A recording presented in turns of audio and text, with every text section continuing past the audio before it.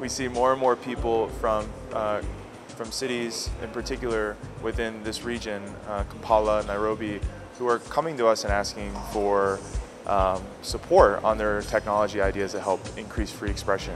Feel it that there's a sort of a policy hunger, people that want to change um, the way that they're not necessarily governed, but they want they want to be governed better.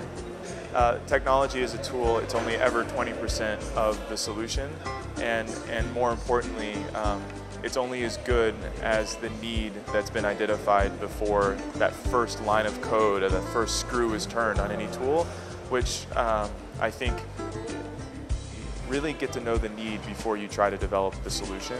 And, and I think that that's, uh, that's not being preachy, that's just, you have an opportunity, I think, to develop technology that's more appropriate, um, that, that lasts longer, that's more effective. Uh, and maybe that's because you understand your problem so much better. So that's the other thing is fight the urge to use someone else's tools from somewhere else. Um, as in, take ownership of your own challenges, know that I think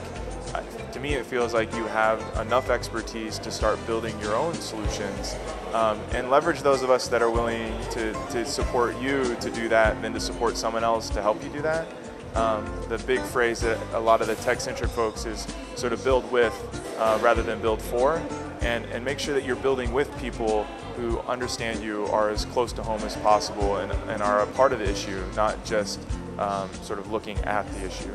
Um, I hope that that's what our role is to support more of that, and I think that you all are doing it anyway, so it's great.